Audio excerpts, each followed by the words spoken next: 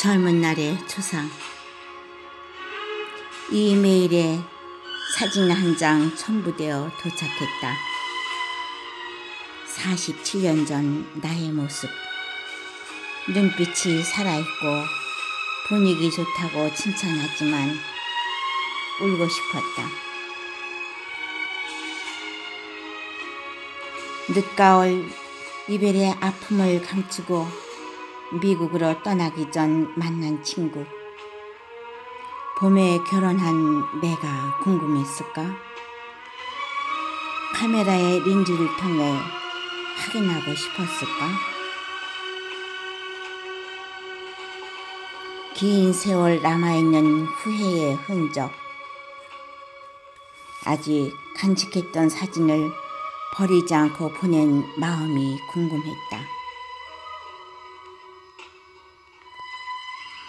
세월이 남긴 껍질, 바삭, 바삭 소리내는 캄캄한 밤에 네모난 턱선이 저절로 둥글게 변형된 모습을 보는 상실감.